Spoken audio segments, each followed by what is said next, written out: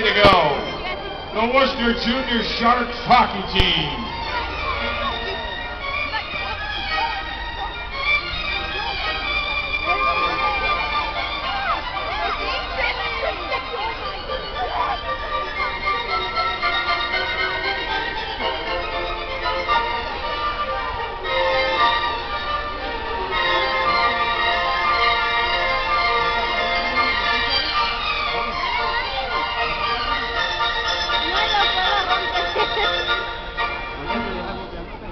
Let's give a great Worcester welcome now to the Colonial Figure Skating Club of Acton with Why Me